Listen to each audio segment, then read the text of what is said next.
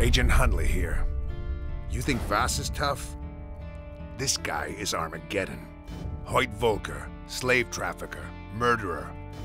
Forget basic training. You'll have to be a warrior.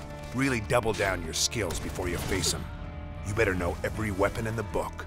And you're going to need more than guns. You want to win this fight, you've got to take his organization down from the inside. Are you ready to do this? Privateer army can do a lot more than walk and chew gum at the same time. They've been trained to kill. Hoyt hardly leaves the South Island. You'll have to parachute in and survive. This time, no allies or safe hiding places. Comprende? This is the jungle.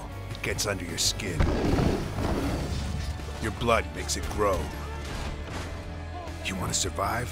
Then you have to fight harder. Run faster. Hunt and kill. You will have to break all the rules.